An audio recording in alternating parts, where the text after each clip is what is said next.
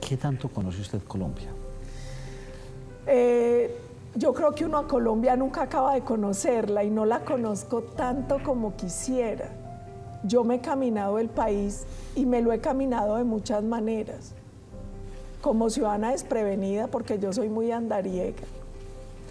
Me lo caminé también en las guarniciones militares, porque yo hice una maestría en seguridad y defensa en la escuela de guerra y parte del ejercicio era ir a conocer cómo operaban las fuerzas en terreno.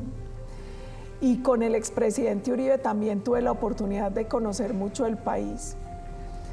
Yo lo, lo he caminado, lo he gozado, lo he padecido.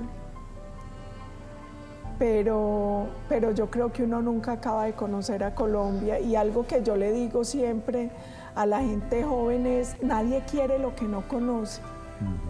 Colombia hay que caminarla, hay que gozarla, hay que sentirla, para uno poder quererla como merece ser querida.